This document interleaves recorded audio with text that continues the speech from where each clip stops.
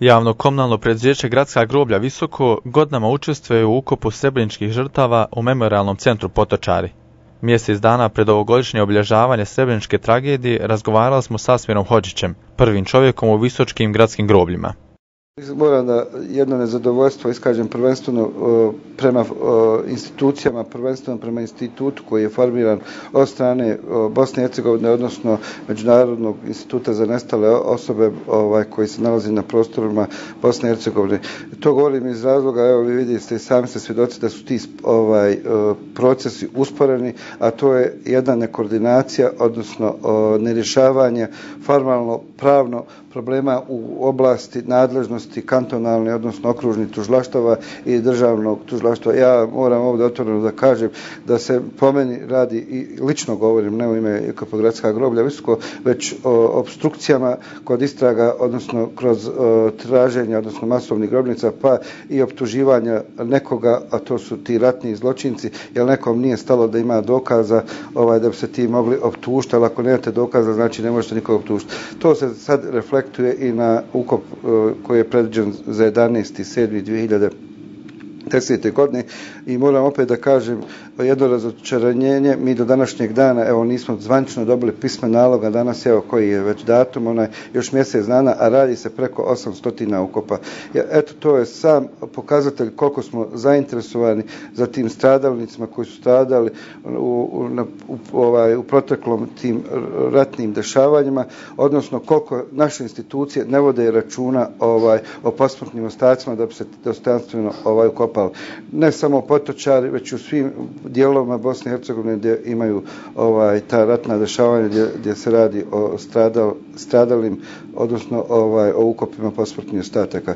I mislim da bi se stvarno, ovaj, evo i apel, država stvarno morala pozabaviti, ne samo da se zabavljaju kad su predizborni skupovi i tako dalje, jer obično jedna latinska kaže najmanje vrijedi onaj narod koji poštuje svoje mrtve. A mi smo takvi i mi ćemo 11.7.2010 najvjerovatnije ponovo da samo tamo slikamo i čitavu godinu dana ćemo zaboraviti da, su to, da je to Srebrenice, da su to stradali Srebrenice. I tu peremo neke političke pojene. Mislim, ja ne želim nikog da kritikujem, ali ovo govorim opet individualno, jer ovo što se radi, ove godine sa Srebrenicom to stvarno nema nikakvog smisla kad je u pitanju evo, gradska groblja i tehničko jel, ovaj, one poslove koje trebaju dobave tamo. Znači, radi se o jednoj neorganizaciji ovaj, koji ljudi samo sebe gledaju, a ne gledaju da treba 800 tijela spremiti, ja da ne govorim druge aktivnosti koji su neophodne tehnički da se pripreme da bi ta stvarno ceremonija ličila nešto koji do sadašnjih godina.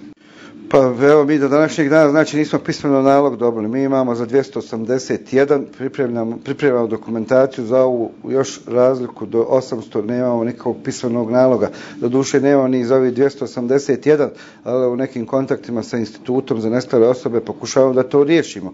Međutim, opet kažem, institucije kao što je institut ovaj za traženje nestali osoba po meni apsolutno nije potreban, jer ovo je samo obstruiranje u radu, eksumacija, istraga, odnosno e, Uh, ukopa identifikovani lica. Moram ovdje da kažem, evo, samo nek prepišu recept kantonalnog tužilaštva u Saraju i mnoge će se stvari posložiti. Ovo isto prilikom naglašavam, evo, mi na području opštine Visko od 92. imamo tijelo koje treba da se eksumira, leži tu na području lokaliteta Kralupi. Mi nismo u stanju od prvog mjeseca znači od januara, odnosno čak i od decembra, da dobijemo sredstvo za deminiranje tog prostora da bi se ta eksumacija ovaj, obavila. To je, e, nije stvar novca, nije stvar para, već je stvar jednog javljašuka u pojedinim institucijama kao što je institut za nestale osobe. Prema tome, neko namjerno obstruira rad i ja mislim da se opet pogrešno razumio, kaže Republika Srpska formirala neku kancelariju za traženje. Mislim da je Republika Srpska totalno pravo, ne znam samo što radi federacija, da formira instituciju ovaj, da, da, koje će obavljati tu, te poslove.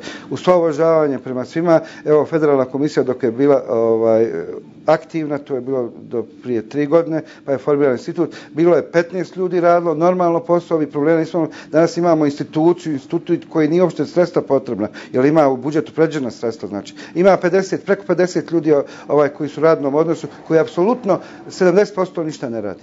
I mislim čemu to vodi?